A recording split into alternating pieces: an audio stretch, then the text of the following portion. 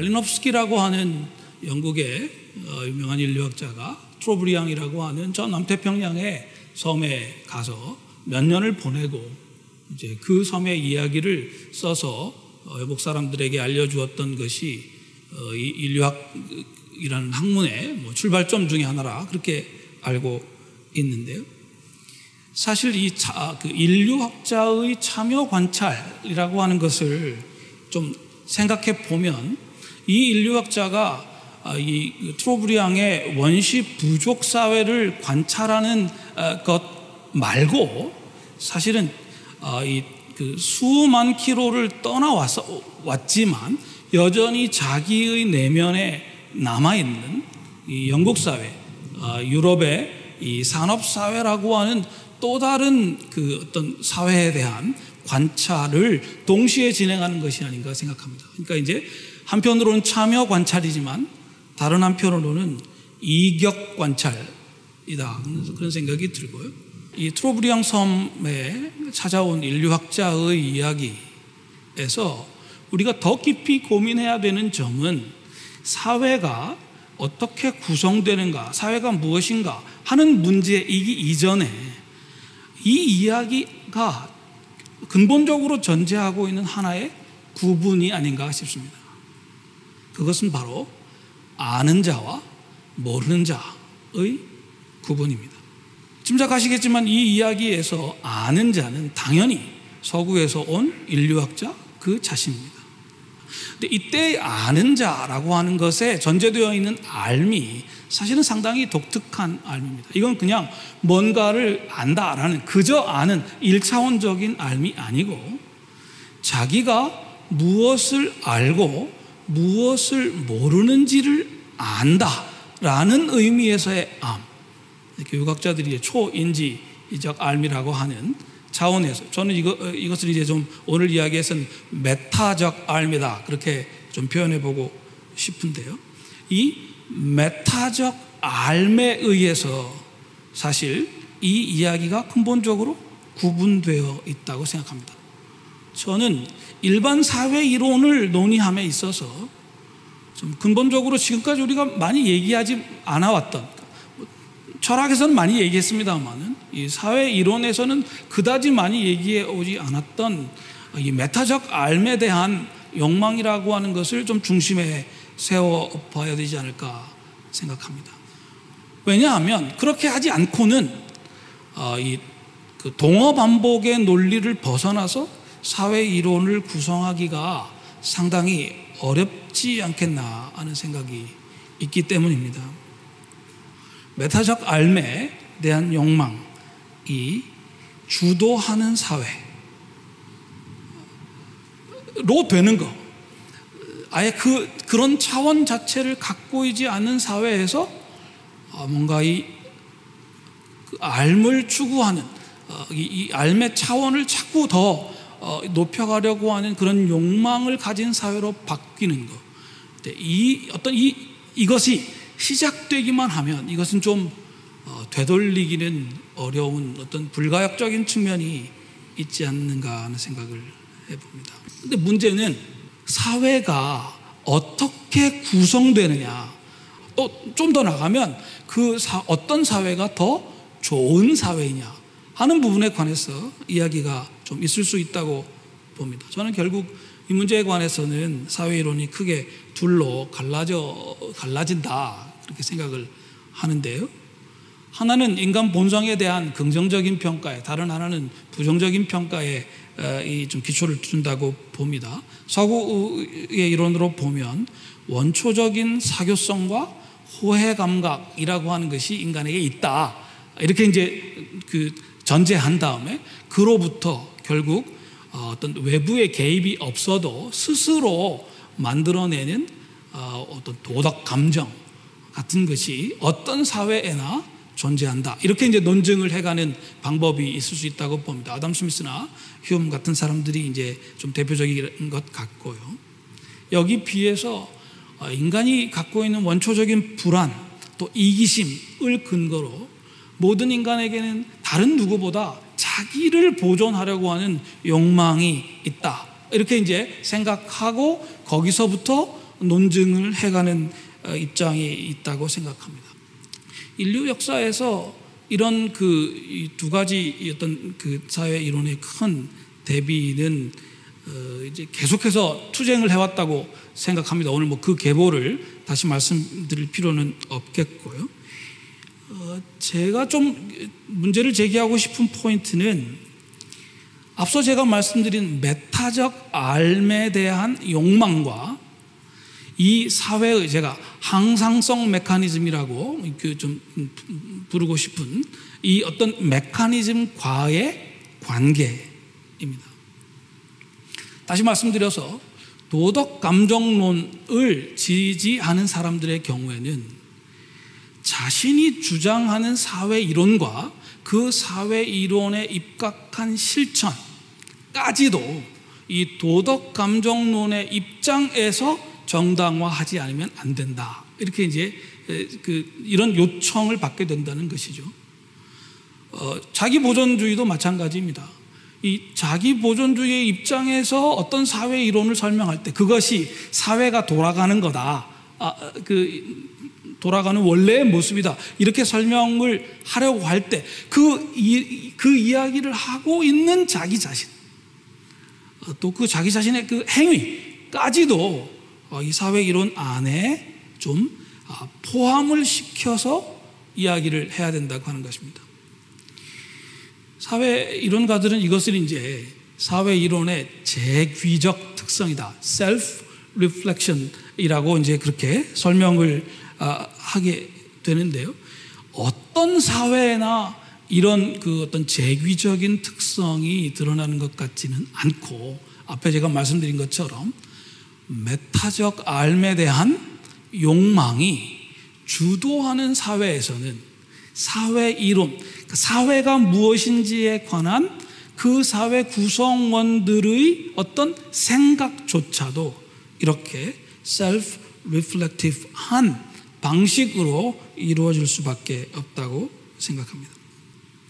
사실 홉스의 리바이어던이라고 하는 책은 철저하게 단 한 사람 토마스 홉스라고 하는 그 한 사람의 내면을 관찰해서 그것을 사회 이론으로 만들어 가는 겁니다.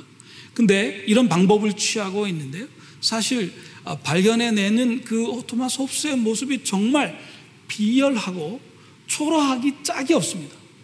그런데 그 아주 근원적인 비참함의 평등을 아, 홉스가 발견하고 난 뒤에 여기에 대한 처방을 다른 사람이 아니고 홉스 자신이 내리게 되는 것이요. 어, 그, 것이죠. 그것이 바로 어, 이 어, 소위 주권을 양도하는 리바이어턴을 만드는 그 사회 계약으로 나아가는 것이다고 말할 수 있습니다. 이런 의미에서 메타적 삶에 대한 어떤 욕망이 을 전제로 해야, 해야만 사회 이론이라고 하는 것이 가능한 것이 아닌가 이렇게 이제 말씀을 드릴 수가 있겠습니다.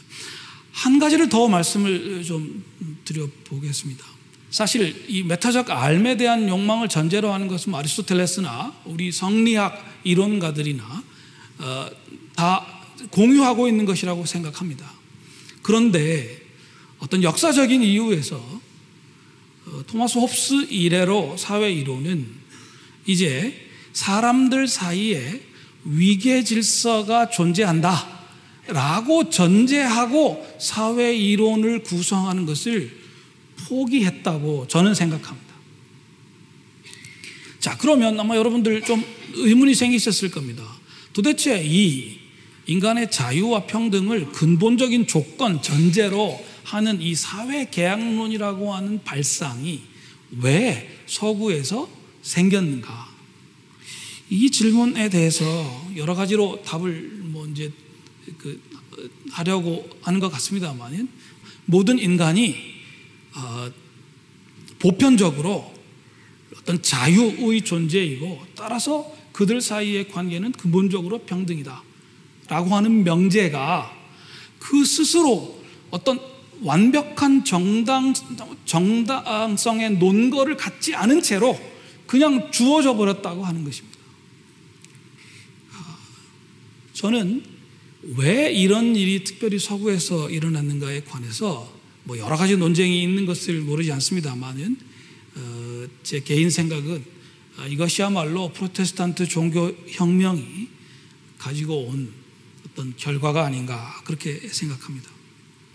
아, 이 사람들이 결국 이 그 자신들이 논증하는 것이 아니고 그냥 성서의 해석으로부터 당연한 것으로 받아들여 버린 이 보편적이고 정언적인 자유의 명령에 근거해서 이제 새로운 사회를 구성하려고 했던 어떤 이론적인 노력이 그 17세 서구의 17세기에 벌어졌던 위대한 사회 아, 이 사상가들의 사회 철학자들의 이 논쟁으로 집약되어 있다고 생각하고요. 결국 서구의 근대라고 하는 것은 그 17세기에 있었던 그 논쟁들을 갱신해 오는 과정이 아닌가 생각합니다. 결국 이렇게 이런 그 생각 속에서 저는 그 서양 사람들이 주로 구사했던 어, 근대의 사회 계약론의 갈래를 크게 한 네 종류로 구분할 수 있지 않겠나 그렇게 생각을 하고 있습니다. 첫 번째, 두 번째는 사실은 이제 양극단으로 제가 좀 생각해 본 것인데요. 어, 과학이라는 방법을 극단적으로 강조하느냐, 아니면 자유 또는 그 자유에서 유래하는 평등이라고 하는 것을 극단적으로 강조하느냐. 어, 이 어떤 이걸 당위라고 불러본다면 당위라고는 목적을 강조하는 극단적으로 강조하는 거 하고 과학이라는 방법을 극단적으로 그, 그, 그 강조하는 것으로 놓는다면 글쎄요 이 방법을 강조하는 쪽으로는 역시 토마스 홉스의 생각을 둘 수 있겠고요. 당위를 강조하는 것으로는 이마누엘 칸트의 이론을 얘기할 수 있겠습니다.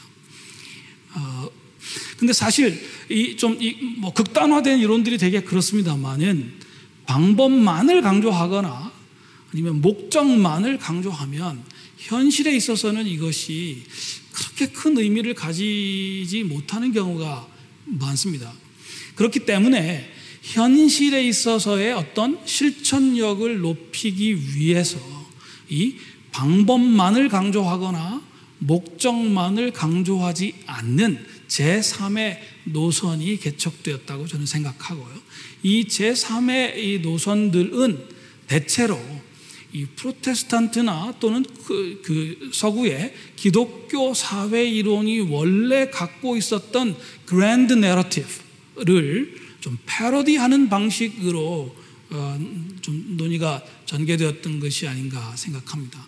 그런데 이제 루소의 인간 불평등 기원론이라든지 아니면 막스나 그 막스주의자들의 어떤 사적 유물론적인 구성을 보면 이 기독교적인 이 그랜드 내러티브를 어, 상당히 좀 유연하게 아, 이렇게 어떤 것은 빼고 어떤 것은 좀 합치고 뭐 이렇게 했던 것이 아닌가 하는 생각을 해봅니다. 제 생각에 이 세 번째 노선 말고 네 번째 노선이 있다고 생각하고요. 이 네 번째 노선은 이제 이 어떤 그 강한 믿음을 요구하는 그랜드 내러티브가 아니고 어떤 상식과 이성 어, 그리고 이제 어떤 어, 경험적인 그 데서 우러나는 어떤 의미에서는 일반인들에게 훨씬 더 쉽게 받아들여질 수 있는 이른바 중용주의적인 노선이 아닌가 하는 생각을 저는 하고 있습니다. 바로 이 지점, 이 네 번째 노선에 아, 이 법률 체계 지금 우리가 갖고 있는 공법 사법의 이 법률 체계가 아, 탄생하는 어떤 맥락이 놓여 있다고 저는 생각합니다. 주어진 문제를 어쨌든 풀, 풀고 그리고 그 해결이 다른 해결보다 어떤 이유에서 최선의 해결책인지를 어느 정도라도 정당화하는 방식으로 어, 이, 것이 이제 이루어졌다고 하는 말씀이 되겠습니다. 저는 어, 서구의 그 공법 이론이 크게 주권 국가라고 하는 생각하고 헌정주의라는 생각하고 이 두 개의 갈래로 서로 투쟁하면서 전개되었다고 생각합니다. 저는 주권 국가라고 하는 것이 상대적으로 좀 쉬운 해결책이고 헌정주의는 상대적으로 매우 어려운 해결, 해결책이었다고 생각하고요. 그래서 어, 주권 국가론을 택하기가 쉬운데 이것은 바로 신에게 쓰이던 주권이라고 하는 개념을 가지고 와서 인간의 인간이 만든 권력에다가 적용을 하면 자, 그 주권이 정의상 대내적으로는 최고이고 대외적으로는 독립이기 때문에 대내적으로는 주권의 명령에 복종한다라는 아주 형식적인 합의 하나만 있으면 주권의 명령에 의해서 평화가 달성될 수 있고 대외적으로는 뭐 수천만 명이 사는 큰 나라든 한 뭐 2만 명, 3명, 3만 명이 사는 조그만 나라든 주권은 그들 사이의 관계가 독립이고 독립인이 결국 평등하게 대우될 수밖에 없으니까 결국 나라들 사이에서도 평화가 달성될 수 있다. 이렇게 됐던 겁니다. 그러나 근본적으로 주권 국가로는 아주 큰 문제를 일으켰습니다. 모든 어떤 국가의 의사결정이 결국은 주권의 결정이 되니까 결정적으로는 전쟁과 같은 지독하게 비도덕적인 행위가 주권의 결정으로 탈도덕화되는 현상이 벌어졌습니다. 사실 주권 국가론의 역사는 인류가 대규모의 전쟁을 점점 더 자주, 점점 더 잔인하게, 점점 더 많은 사람들이 경험할 수밖에 없었던 전쟁의 역사하고 아주 병행되어 있다고 생각합니다. 주권 국가론의 이 한계를 어떻게 하면 그 좀 보완할 것인가 하는 관점에서 헌정주의라고 하는 오래된 아이디어가 다시 어, 부활했다고 저는 생각합니다. 어, 그 과정이 크게 한 네 단계 정도로 어, 좀 진행되어 온 것이 아닌가 생각합니다. 첫 번째 단계는 톨레랑스라고 하는 새로운 덕성을 만들어내는 단계입니다. 어, 이 어, 전쟁이라고 하는 탈도덕화된 행위를 통해서 살육하는 것이 정당화된다고 하는 발견 앞에서 어, 이 정치를 진리의 투쟁으로부터 어, 좀 이렇게 이탈시키는 그런 과정이 시작되었다고 생각합니다. 두 번째는 주권에 의해서 신화화되어 있는 통치 권력을 어떻게 하면 길들일 것인가를 가지고 이 견제와 균형의 장치를 만들어내는 어떤 그 치열한 시도가 있었다고 생각합니다.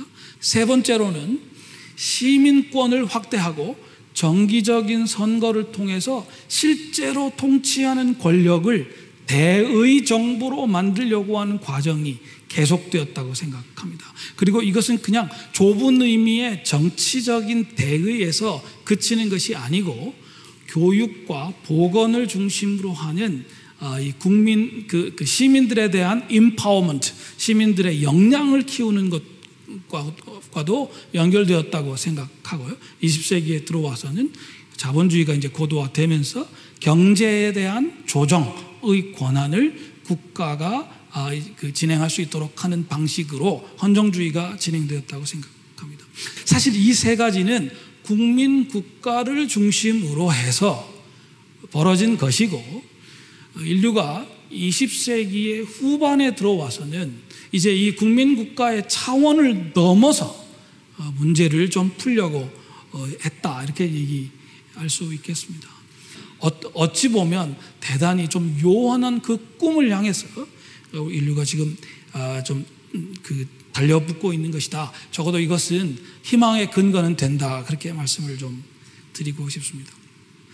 이제 좀 제가 말씀드리고 싶은 이 공법 이론가들의 독특한 기여가 있습니다. 이 주권 국가론 또는 민주적 입법 정치라고 하는 쉬운 해결책에 맞서 가지고 헌정주의자들은 좀 어려운 해결책이라고 할 수 있는 제4의 노선을 제안했던 것이 아닌가 싶습니다.